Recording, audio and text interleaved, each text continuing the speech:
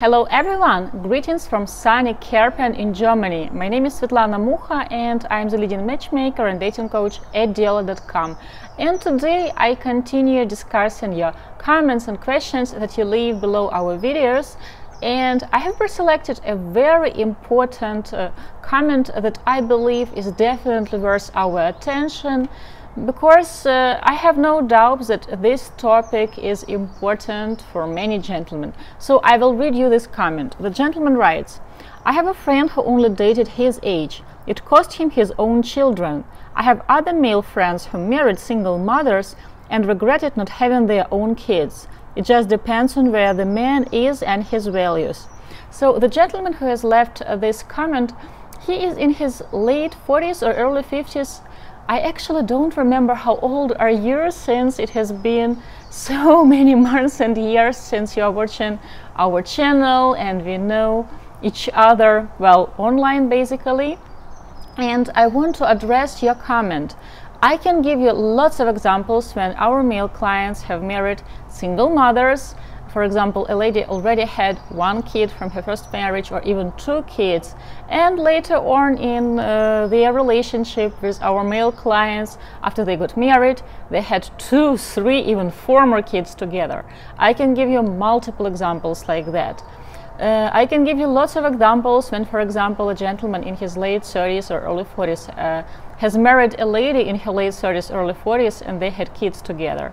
So, no, it has nothing to do uh, with the fact that she already has a child. We don't know a situation of uh, your friends and their families. We can only assume because only two people that uh, have created uh, a relationship, a family, they know what's really going on. Perhaps your male friends, uh, when they have started dating, they are now wives. Uh, they were not thinking about the idea of having their own kids, uh, or perhaps they haven't discussed it with their best halves. They have assumed that just because this lady is a mother, she definitely wants to have more children. It is important to be looking for someone who shares your long-term goals, who shares your values, who is on the same page with you about all the important things, like uh, the desire to have more children, timing, when do you want to have these kids? Next three years, next five years, next 10 years. Usually when I conduct first interviews with uh, potential clients, both male and female, I always ask them, do you want to have children or more children? And you know what? You can tell a lot by actually listening to the answers that uh, the lady or gentleman is giving you. Sometimes ladies tell me something like, mm, I'm not sure, right now I'm finishing my PhD and then I've got this contract and uh, I hope to go teaching to Italy. Maybe eventually with the right guy I will be willing to have more kids, like who knows. And you can tell from the very beginning that she is kind of indecisive, but sometimes I'm interviewing a lady and she's telling me that, you know what, for me, a family uh, is a real family only when they are kids. So yes, uh, I want to get married, for example, for a second time, and I definitely want to have children, and I want to have them within the next five years. And you can tell that this is a priority for this lady. Uh, of course, not all ladies who already have kids will be willing to have more children. Sometimes I'm talking to ladies and she's telling that, no, I don't want to have more kids because my kids are almost out of a house and I want to finally have time to build a romantic relationship, to devote all my energy, all my heart to this new relationship, to my new partner. I want to travel, I want to learn Spanish, etc. So different people have different visions how it should be. Nobody knows what has happened with your friends.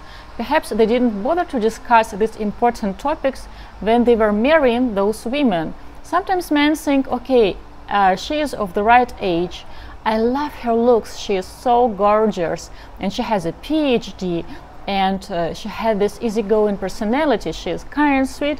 So for sure she will be willing uh, to have babies. Uh, for sure she wants similar things that I do. So such men and sometimes women, they assume or they think that their partner will change. Okay, she definitely will change for me because wow, she is perfect, the right age group, uh, perfect looks, uh, perfect uh, background, like perfect pedigree. So for sure, this perfect woman will be willing to have same things that I want to have. Or if she doesn't, she will change. I can give you another example. Uh, I remember I was talking to this gentleman, and he was giving me like a long list of qualities uh, he wanted to see in a lady like she has to have a university degree speak english french her parents have to also be highly educated and speak multiple languages uh, because he wanted to have kids and he wanted uh, these kids to be very smart and this lady she has to be this that she has to look like a victoria's secret model and yes she has to be a stay-at-home mom and when i'm asking him but a person who has worked so hard to achieve all those degrees to travel the world, why would she be willing to just stay at home? Uh, there is nothing wrong with being a stay-at-home mom, and I know women who are looking for this type of future because, for example, their mothers have been stay-at-home mothers, while uh, a father was a breadwinner, while a father was supporting the whole family. So this is her perfect idea of uh, gender roles in the family. These are her values. Uh, but some women see it in a different way. They uh, believe that uh, a family not necessarily includes kids. So the fact that your friends uh, are unhappy now in their marriages has nothing to do with the fact that they have married single mothers. They have married perhaps a wrong person if uh, these women do not uh, want to have children, for example, a gentleman wants to have children, then they have a problem. But who knows, perhaps when your friend was courting that lady, he was also not thinking about having kids. He was not thinking about what he really wants and needs. He has uh, liked a woman and he didn't bother to actually dig deeper to find out if uh, they are on the same page about all the important things.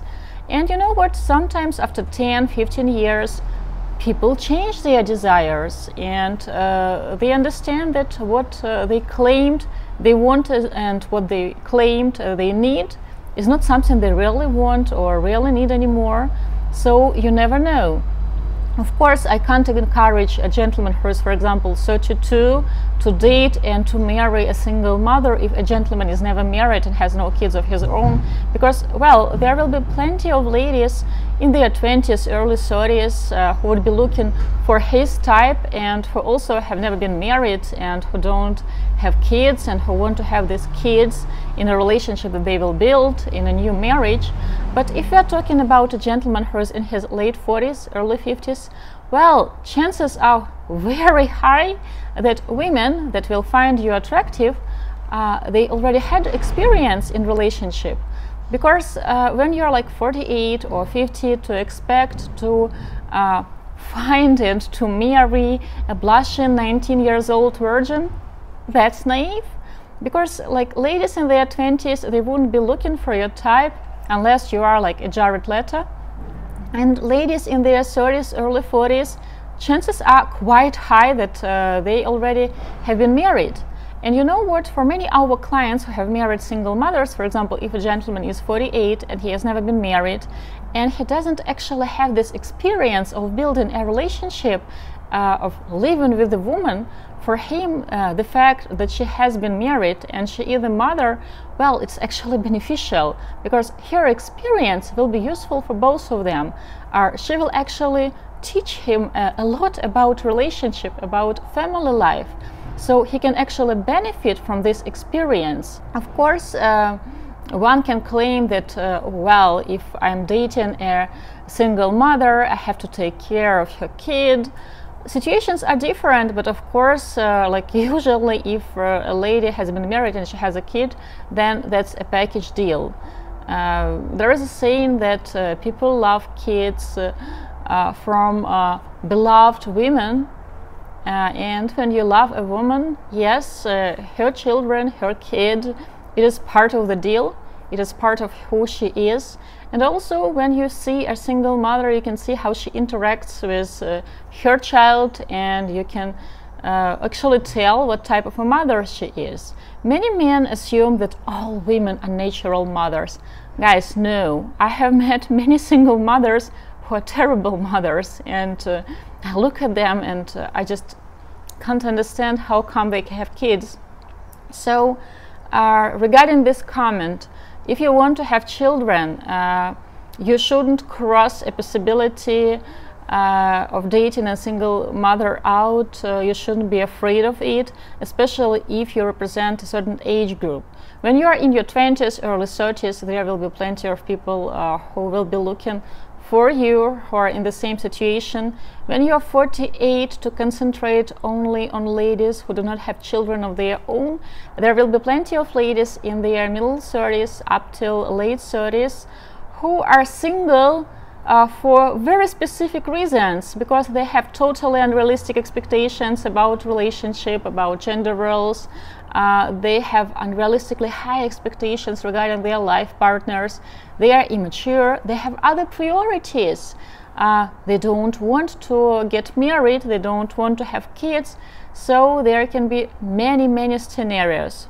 Guys i hope it was useful Please don't forget to press like to this video and to share your thoughts in the comments below. I'm always really happy to get your feedback. I want to wish you lots of love. Svetlana Mukha, especially from Kerpen, Deutschland, with love.